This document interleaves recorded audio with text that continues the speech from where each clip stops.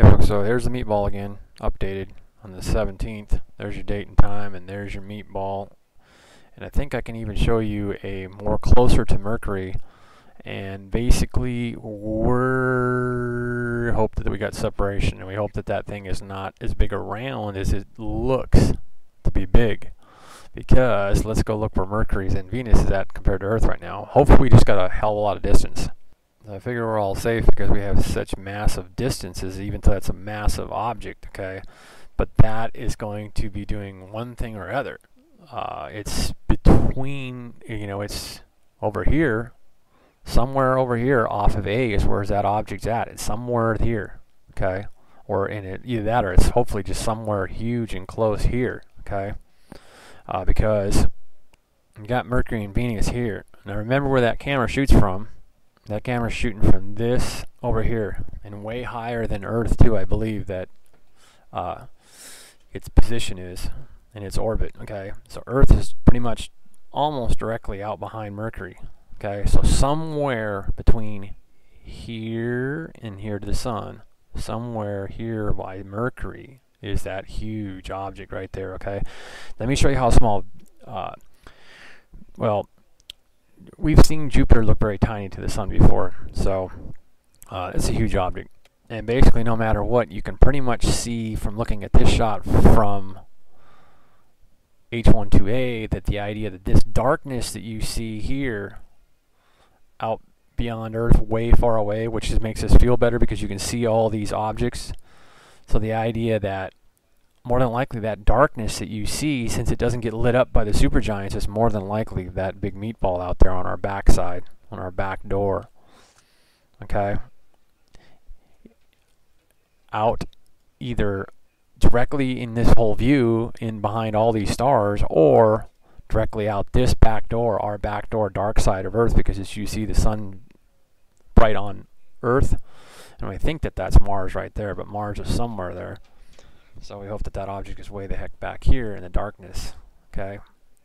So, so watch positioning here, and then we're going to end up showing you Mercury closer at the end of the day because this shot will be the more freshest shot. 2329 minutes. Basically 23, 2900 hours, okay? So let's go to that shot. And then as you do see that it, because I did see this earlier, that's why I wanted to make the video, is the idea that you see it closer to Mercury okay and you see more of the meatball okay so there's your shot and time there and then we can go ahead and go to this one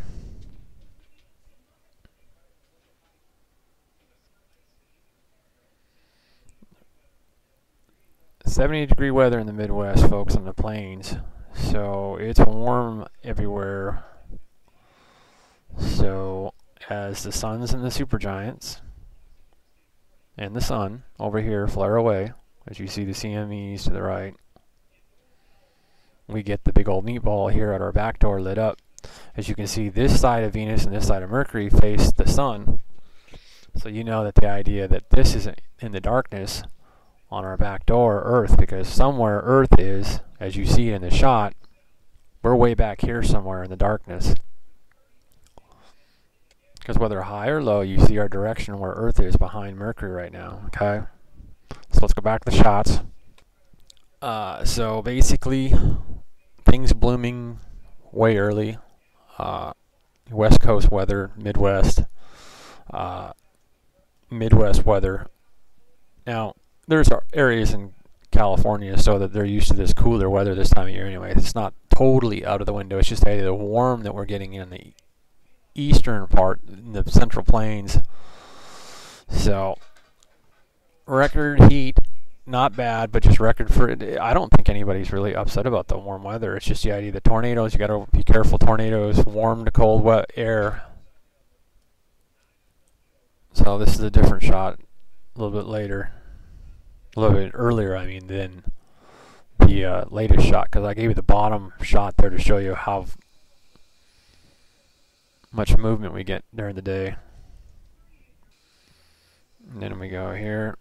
So you get the movement, I think will show us going away because when we get farther up, now you need to be real calm because what I'm going to say is the idea that from what I can tell, from you look at the map and stuff from what we've seen this object here this here this star cluster which these are huge this is massive distances in space massive object there mercury and venus are pretty much singularly about the size of earth okay so somewhere we may be somewhere between here and the meatball between here and mercury somewhere somewhere in this area somewhere here okay because no matter what the map will show us that. But you got to remember, this is hell about our back door. Hello far out our back door.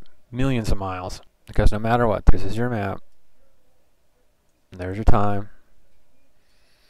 And no matter what, that's out here somewhere. Okay? But there's a hell of a long distance between here and here. One whole AU. So there's plenty of room for it. So it's nice to see us pretty much in line with Mercury, and then hopefully that it's way out here because it's missing Mercury, so it should be missing us. Okay. Because no matter what, we've seen this before in the uh, blue shots. All right. And like I've shown you this shot here to make you, you know, relax. This is how much room that we probably have, okay? Because more than likely that might be that cluster that we keep seeing right there. So we have the distance it takes two years to get to Mars, okay? So, and like I say, you roll this up, and basically, more than likely, out the back door. Because the sun's over here getting blocked. And as you see, that's the direction of the sunlight because it hits Earth. So more than likely, the meatball is probably out the back door somewhere. If this matches with that cluster, could be way back here behind here. Okay, and then we look at the map, that's shooting from A. So remember, these are massive distances, and that is a massive object. So, but the idea that it has massive room out here between us and Mercury, because you remember, it's still pretty darn far away from clearing Mercury, and we're way the hell away from Mercury. So,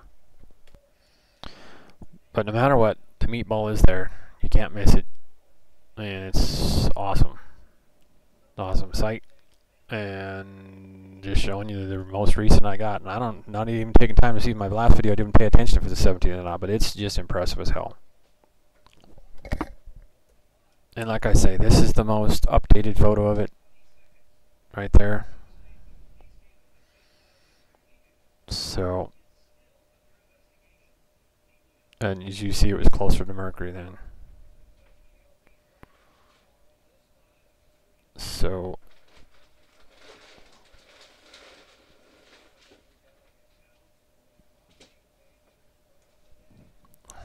So the thing is, no matter what, you know where we're at.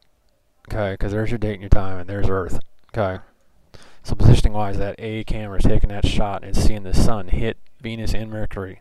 So we are pretty much somewhere. There's somewhere.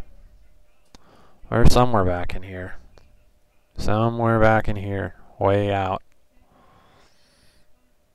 Between the meatball and Mercury, we pretty much suspect we are. Okay, we pretty much suspect that we are somewhere between here, the meatball, and Mercury, and that's the Mercury.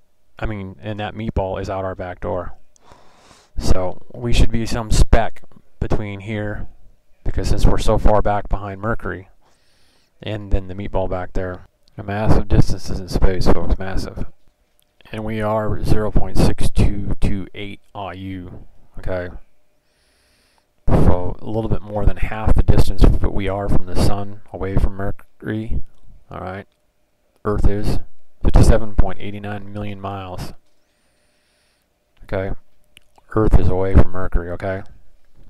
So relax, folks. We've got a lot of room between Mercury and Earth there. In between the meatball and us. So now you know what makes that huge shadow out there. Okay? You see that huge shadow?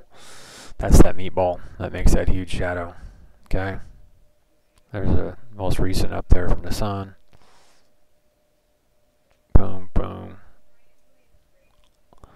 And the sun was getting a lot of action for something close by it today. I'll show you the footage on that later. This is just the recent beacon shots. Basically today it's con very continuous on the 19th. very continuous, like it's grinding up on something or something or something's hitting it. And there, if you go went, went to uh, solar images too, I'll go to solar images here in a second after this goes through the day. 8th hour, 9th hour, 12th, 13th, 14th. Almost like something's grinding on the sun or something. As you can see, the CME just continues and continues. You see that? Looks like a grinder, doesn't it? Grind, grind, grind, grind. Same area for a long time. So, and you can freeze and see whatever you see to the right, which I keep on seeing. But that's part of any of the M50s or something like that. So, there's your time again through the day. Okay, let's go to the solar images. And no matter what, that's what was on this shot right here. Okay. So there's stuff up there. Layers, layers, layers. Okay. So.